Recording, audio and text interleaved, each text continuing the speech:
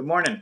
It's Monday morning. You know, I, I usually do a Tuesday video, and I, I still will. I'll do a video. I got my loop station set up downstairs. Nonetheless, I just wanted to share this. You know, sometimes we complain about things being broken, but in reality, it's not as much broken as we're attracting negative energy. Try this for a change. Instead of complaining about things, maybe fixing the problem. Now, the problem sometimes, you know, I've taken this whole year and taken a whole lot of things out of it. New Year has started. I call it my purgatory of time. Between New Year's and my birthday, which is the 11th, that's my reflection time. And I'm I'm, I'm reflecting. Nonetheless, some things aren't as broken as we seem to try to make them. Maybe the problem isn't the things that are broken. Maybe we are the things that are broken.